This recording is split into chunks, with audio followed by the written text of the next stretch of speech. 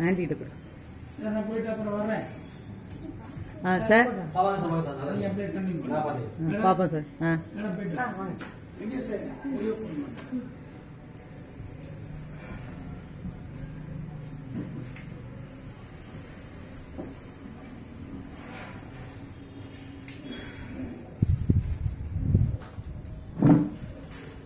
Sir நேரம் அனுமதி பண்ணுங்க சார்.